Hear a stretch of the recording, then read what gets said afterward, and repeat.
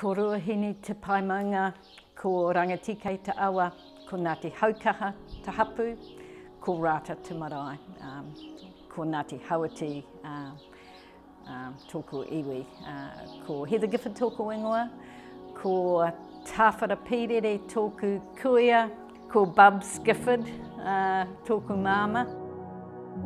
Homers. is very much Whanganui. Um, but that's about a physical space for me of living with my partner, Afina. It's where our children have been born.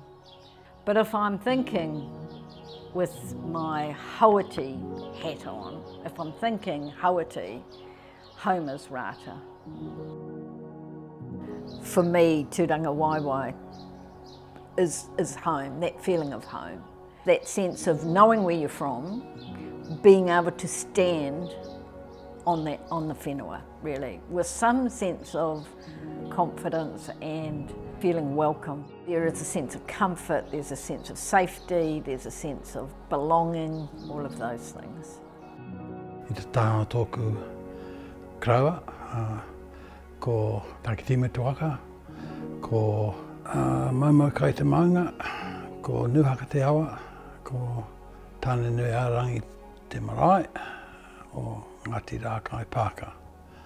Te taha o tōku kuia, ko Takitimu anō te waka, ko Ruahine Te Pae Maunga, ko Ao Rangi te maunga tapu, ko Rangitīkei te awa, ā, ko Ngāti Whitikaupeka, ko Winiata, ko Rāta ngā marae, ā, o Ngāti.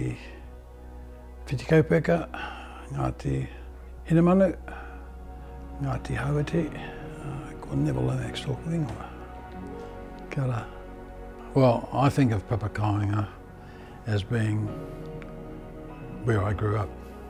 For me, Utuku and Rata are the most important areas as far as um, being Papa Kāinga and uh, where I uh, feel that I come from. Uh-huh. Our main river to obtain sustenance and uh, uh replenish, refresh our wairua was the Rangiti game. All the whānau gathered there. That's my, my view on Turanga Waiwai, that uh, you've come from that land, uh, you remain part of it until you return to it. Being where our roots are.